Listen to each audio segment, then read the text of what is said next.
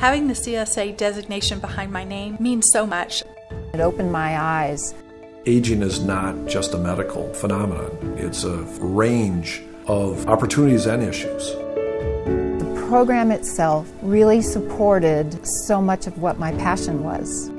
I think the designation of CSA after my name represents a real commitment to understanding the many issues that older adults face.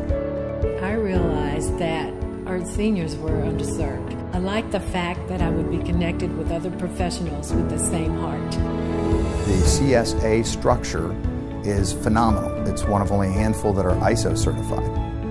It really helped my work in aging services. The information that was provided, I was just so amazed.